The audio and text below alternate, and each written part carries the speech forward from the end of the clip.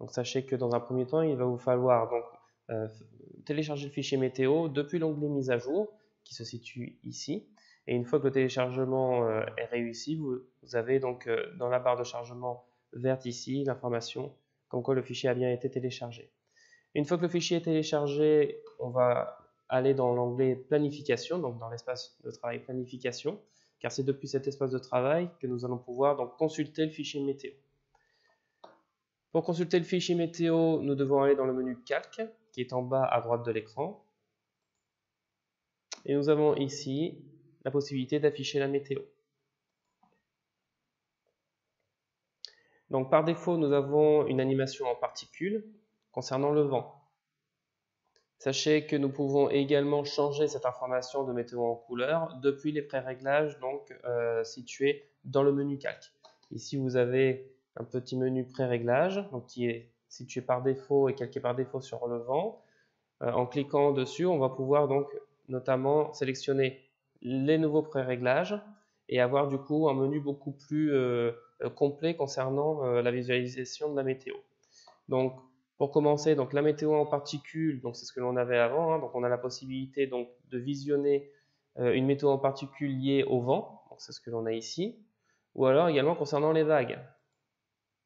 Nous avons également donc la possibilité de visualiser ce contenu.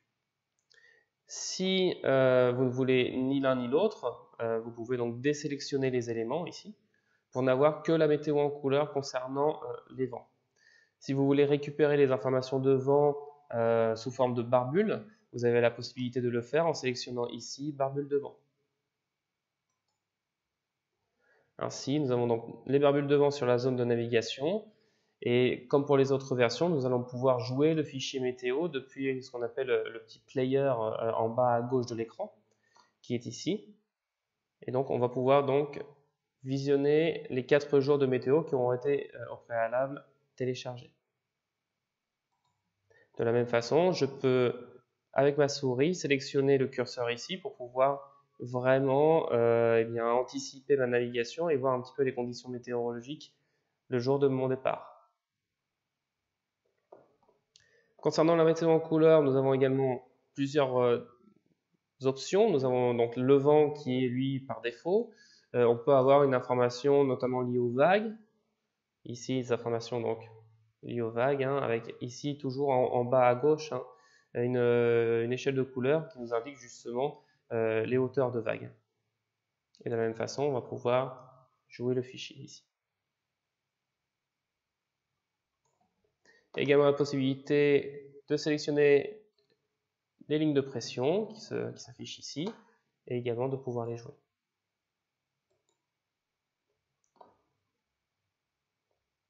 Concernant le météogramme, qui est une nouvelle fonctionnalité du logiciel, on va pouvoir venir se placer à l'endroit par exemple du départ de notre navigation, faire un simple clic sur la zone de navigation et afficher le météogramme.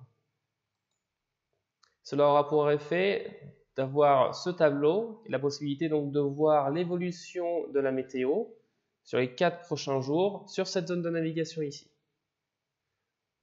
Nous voyons ici donc la courbe des vents hein, en noir. Et ce que vous voyez ici en couleur un peu arc-en-ciel, ce sont les informations liées aux rafales de vent. Sur ce météogramme, on va pouvoir également afficher plusieurs informations, notamment la couverture euh, nuageuse, mais également les informations liées aux vagues.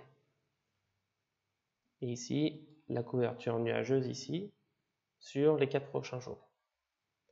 Sachez que le météogramme peut également se calquer sur une route, ou si éventuellement vous avez le module routage sur un routage.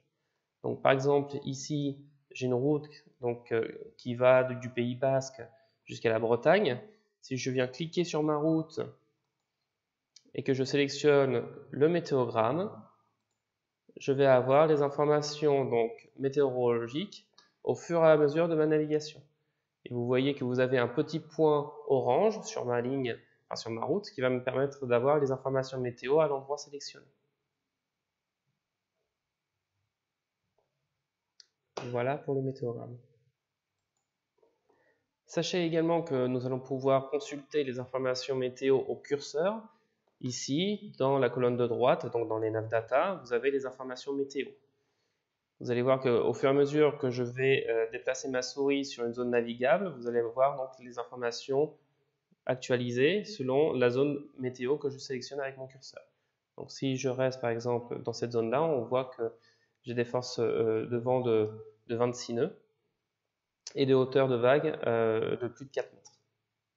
Sachez également que nous mettons à disposition plusieurs types de fichiers météo en téléchargement si vous vous abonnez au service météo premium, vous allez pouvoir télécharger des fichiers météo beaucoup plus précis, tels que des fichiers arpèges et arômes.